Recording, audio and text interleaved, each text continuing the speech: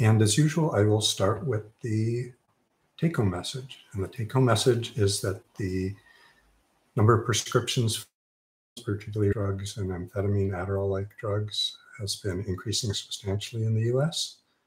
Um, that's for the last several years, but particularly during COVID and after COVID. And as we talked about in one of the recent talks here, the FDA is that many of these drugs are being shared with people they were not prescribed for, including a substantial number of people who have not received any formal diagnosis of ADHD. So more and more people, both with diagnoses and without diagnoses of ADHD, are getting stimulant medications.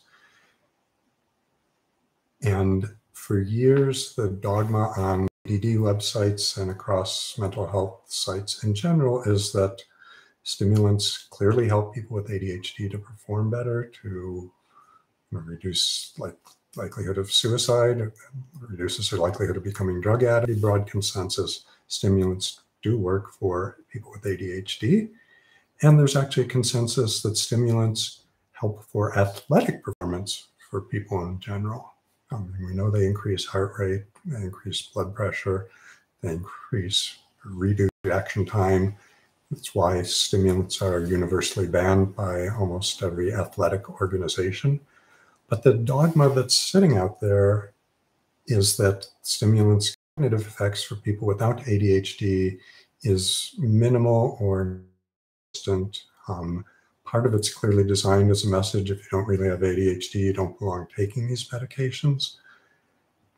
But I think we are overreading the amount of data that comes to that, uh, that comes to those conclusions. And I'm going to jump into three different studies that were done in the last five years, all of which received fair amounts of attention in the popular press, particularly the, the last two I'll talk about. Um, and the message in the popular press, again, was strongly stimulants don't do anything good for people who don't have ADHD. I think, again, that's an overstatement. So I'm going to start in a slightly not offbeat area, but what I think under a, a foundational study done in 1908. So, as I tell my children, that was way before I was born, actually, even before one of my grandmothers was born and it's called the Yerkes Dodson inverted U for arousal versus performance um, chart or graph. And they had other data in their study. They didn't actually map out this actual curve, but the curve is if you're looking at arousal, if you increase arousal, starting from if, if you're starting at someone who's asleep or barely awake or barely registering, performance is going to be poor. If you increase arousal, you increase performance, and it goes up fairly steadily until you reach some plateau or optimal area of performance. And then within that sweet spot, if you keep increasing arousal, you're not getting much change in performance. But if you continue to increase arousal, then performance drops off. So again, the curve is up level and then drops down. So again, an inverted U shape. And that means if there's too much stimulant, stimulation, you get too hyperactive, you get too distracted, you go off track, you don't perform as well. So that's a well-known phenomenon. And when I started working with individuals with ADHD, adults with ADHD about 30 years ago, that was sort of the core explanation for why do stimulants even help people with ADHD when they make everyone else too revved up and jittery? And the claim was both groups of people are showing a similar inverted U shape for arousal or performance. It's just that people with ADHD have their curve shifted, as we say, to the right. So someone with ADHD needs a higher level of arousal to get to that same or get to an optimal optimal level of performance. And someone without ADHD would be bouncing off the walls and already on the downward slope that that, that stimulant is too much for them. Um, and that makes, I, I, think that is still a basic, useful um, explanation. There's although uh, Yerkes Dodson inverted U makes its appearance pretty much in every Psych 101 textbook. And disclaimer, I never took Psych 101 or never even took an undergraduate psych course. Um, it's sort of universally accepted as a general truth, whether it's true in absolutely all conditions or what are the exceptions to that cur- or truth. are variations of it, but let's just assume or take it as a useful rule of thumb or generalization that has some good validity. So one other thing that the difference between ADHD, individuals with ADHD and non individuals without ADHD emphasize is that even within the ADHD population, there is incredible individual variation in sensitivity to dosage of stimulants. And I've talked about that in another um, talk on here on YouTube. So, and I'll quote the same people or uh, patients. So I have one patient, 300 pound truck driver, five milligrams of Adderall, was about right, sometimes too much. Maybe two and a half would be more optimal, but, but five was good. 10 was clearly too much for him. Clearly had ADHD, clearly benefited from it when he was on the Adderall.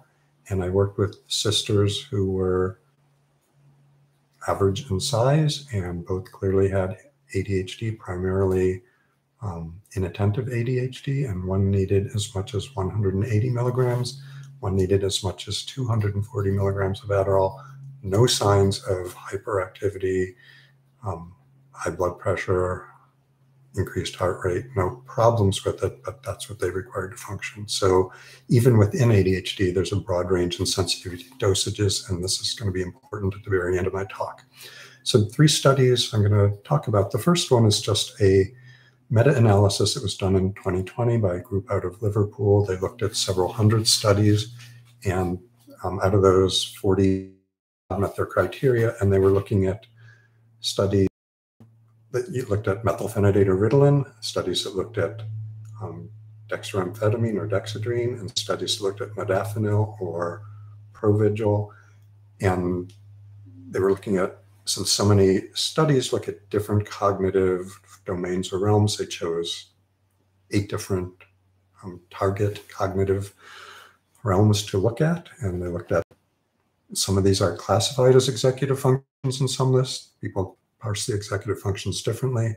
So those eight realms were how well people were at updating information, how well they were performed at switching tasks or cognitive mindsets to solve problems, how well they had control over inhibition when presented with a stimulus that told them to stop, um, how well they accessed long-term memory, how well they performed on spatial working memory tasks, how good their memory recall was, and how good their selective attention was, and how good their sustained attention. And again, this is a meta-analysis, so looking at all the studies put together, their finding was that methylphenidate had weak overall effects on cognitive functions to improve it. These are in non on people without ADHD. Um, but of those eight specific domains, methylphenidate only measurably helped improve performance in three inhibitory control, recall, and sustaining attention. When they looked at modafinil, again, they could find a weak, tiny overall benefit in cognition from modafinil. But the only one of those eight um, domains that they found modafinil helped with was updating information. And then with dextroamphetamine, and I think there were more than 40 studies that made it, and some of those studies looked at more than one of these drugs, about a dozen studies looking at dextroamphetamine, and overall, they didn't find any overall cognitive benefit, and they didn't find any benefit on any of those eight more specific breakout executive function tests. So their conclusion was these are substances that have significant whether we call it high rate, but measurable rates of addiction, possible really bad side effects of psychosis, particularly with Adderall, um, potential for cardiac effects, potential for interfering with growth in children. Um, so their overall claim was that stimulants have such mild to minimal effects on boosting cognition in people without ADHD that pretty much you shouldn't be considering them. So that's that's sort of the, the groundwork I'm pressing. Then in 2018, there was a study out of Brown University that got a fair amount of attention in the popular press. And that study looked at only 13 people. Um, they gave them all the same dose, 30 milligram dose of Adderall. And then they measured them starting about an hour and a half of dosing to about three and a half hours. So that was when levels should be peaking. And the good thing, or that, that had not been done before, was to simultaneously measure not just cognitive functions, on which they used a battery of cognitive function tests, but they also measured autonomic function, physiologic, blood pressure, heart rate, and they measured subjective both mood effects and could you tell whether you're on a drug and did you like this drug effect? So their study found that on cognitive effects, this dose of Adderall had pretty minimal benefits or decrements. So there's tiny effects on improving attention. There's a tiny slight decrease in reaction time. There was um, a slight decrease in commission errors of commission and a slight decrease in the variability of um, responses. But there's also a mm, slight but measurable decrease in ability to recall digit span. So effects on cognition were extremely small. Most measures didn't reach statistical significance. None of these were big, robust effects. On the other hand, effects on blood pressure, increasing it, effects on heart rate, and effects on subjective experience. Yes, I'm on something, and yes, I really like taking it, were substantial. The mood effect was actually the largest effect. People really liked it. And again, this study got lots of attention, and the conclusion was, you know, people are liking this. That's a big potential for addiction and certainly affecting physiologic variables, and it has a minimal effect on cognitive performance. So people shouldn't be using it because it's not having any real benefit and it's having lots of detrimental effects. And then a similar, but not methodologi methodologically different test just came out a few weeks ago. This was out of a group, Elizabeth Bowman's group in Melbourne, Australia. And in addition to some standard um, tests that measure different aspects of executive function, they decided, so they were using either placebo or a 30 milligram dose of Ritalin or a 15 milligram dose of dextroamphetamine or a 200 milligram dose of modafinil. There were repeated trials a week apart of this study. So everybody, at least when randomized, got um, placebo once and each of these drugs at least once. Um, the number study, only 40 individuals studied. Again, they were studied uh, starting about an hour and a half of, after dosing. So hopefully at a time when these drugs were having their robust effects.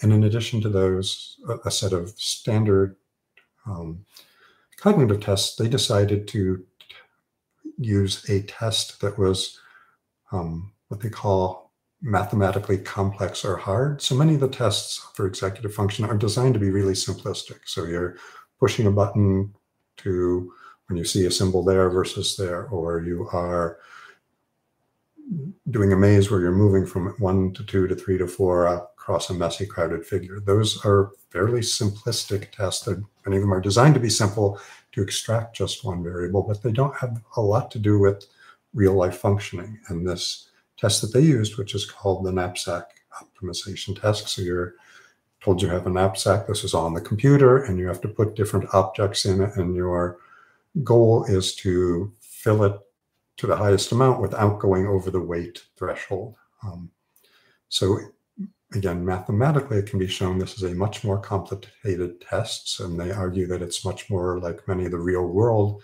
challenges people face, like how do you prioritize or triage or deal with all the tasks you have to do today, or um, how do you get a task done in an environment where there's lots of conflicting demands upon your time? So again, with so with this test, what they demonstrated was that for each individual, so overall, about half the time, whether the person was on the placebo or whether they were on one of the drugs, about half the time they reached the optimal result. So there's one optimal answer for the different assortment of objects you're putting in the knapsack for each trial of this test. Um, so overall, the, the performance in terms of how many times they got the best answer didn't differ. But if you looked at the average test score, all of the drug groups or all the drug trials, people underperformed how they did on the placebo. So if you just looked at the average of how many items they got into the, the knapsack, it was less than they got in. And, and again, you're never allowed to exceed the total weight um, than they got in with the placebo group. And when they looked in more detail, what they saw was a measure of effort. So how much time someone spent deciding, should I put in this object next or this into the backpack? And the number of steps someone took um, to keep putting things in, putting them out, making choices and decisions, effort or pers perseverance, however you want to call it, was greater on all three of these substances than it was on placebo. But the productivity, or actually the quality of the choices, was inferior. So you might have spent more time thinking about it, but you actually made a lousier choice. And measurably, they were sort of assessing for different algorithms or strategies that the people were trying to presumably using to fill the bags. And um, the results when you were on any of these three drugs seemed to be more random than the strategy, algorithm, plotting, thinking that was involved when that same individual was on placebo. So there's also what I would call a leveling effect. So people who did worst on the placebo test, some of them did a little better with the drugs. Um, some of them who did high on the placebo test did a little worse. So there was some tendency towards, I guess, regression towards the mean. But overall, individuals, regardless of which of the three drug conditions, again, each of them got all three across different trials of the studies separated in time made you perform worse. And again, the media's jumped on this as saying, yeah, you're making decisions. You may be more motivated. You may be working harder, longer, persevering at your task, but you're performing more stupidly on these tasks with any of these brain enhancing drugs. So, my big problem with all these studies. You know, I'm not disputing that they weren't trying to do them carefully and and that the individual results, I'm not thinking they faked them or or did anything bad there. But I think there's a serious flaw in picking just one dose of a drug and then making blanket claims about it.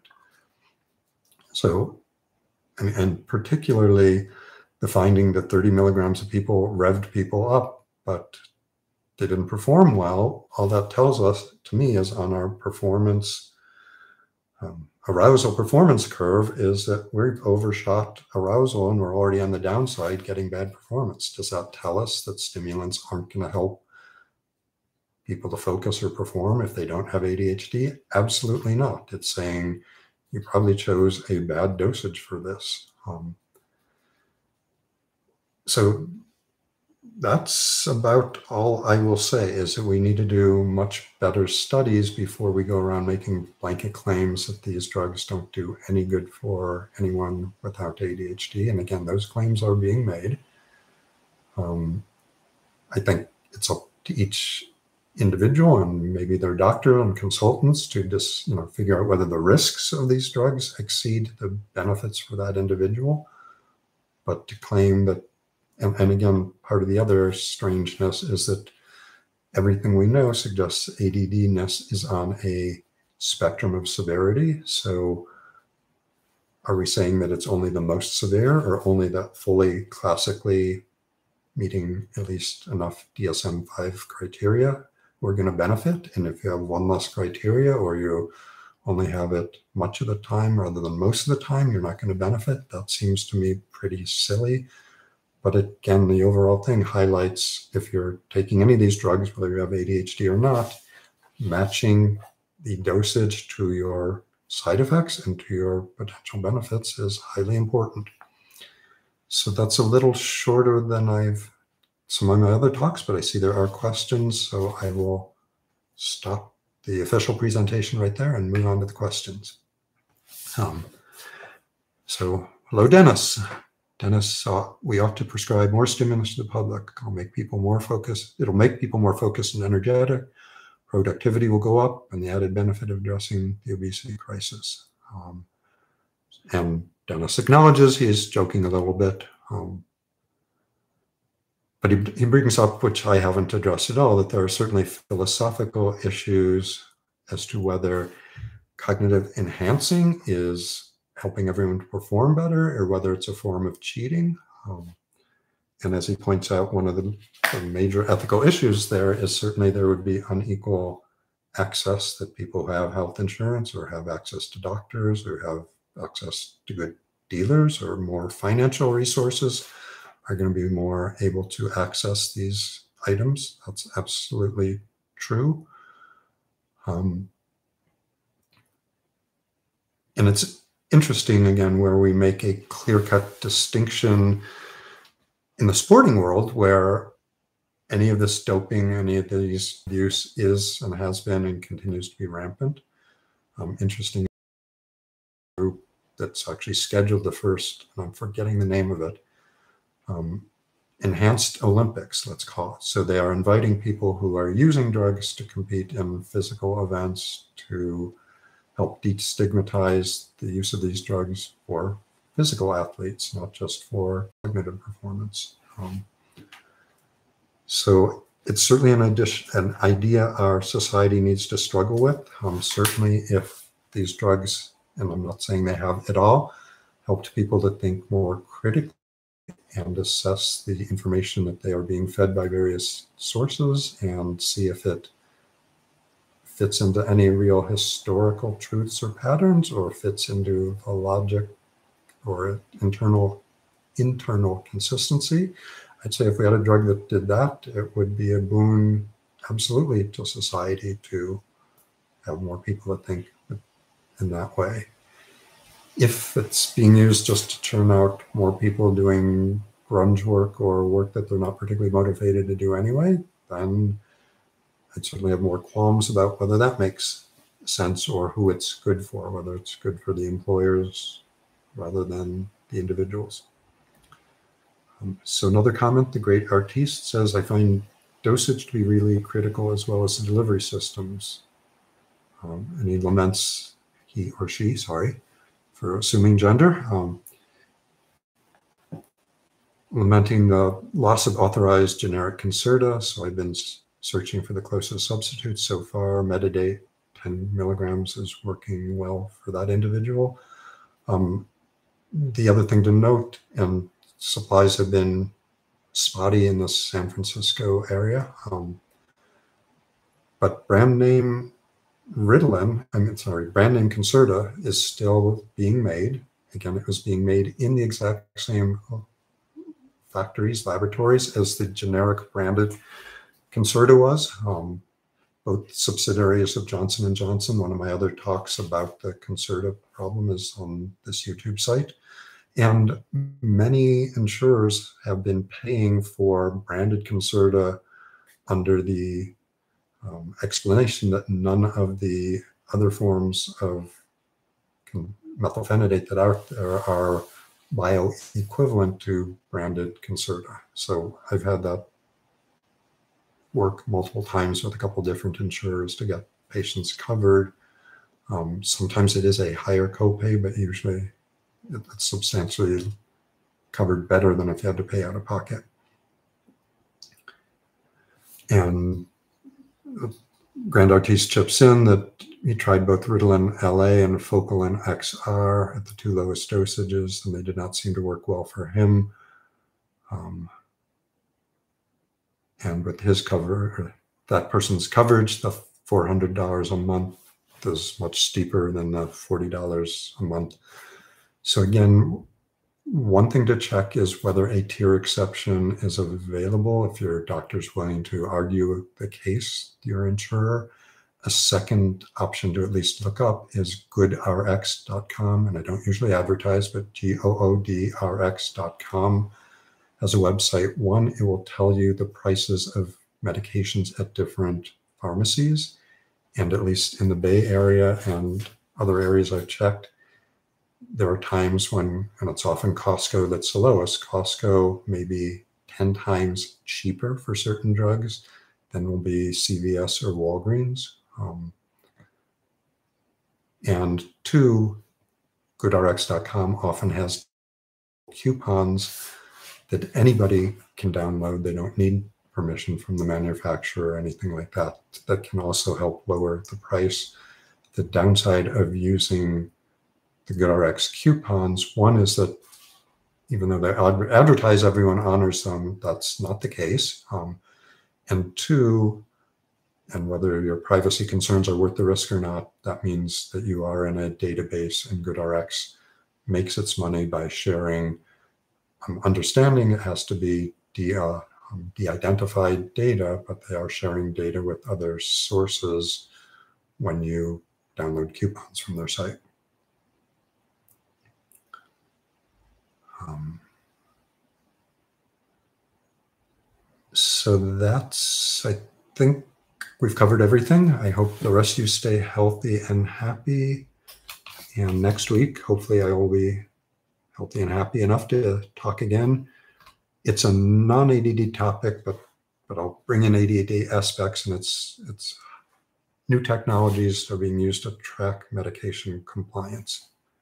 So stay healthy, stay happy, and I will be back next Tuesday. That's all.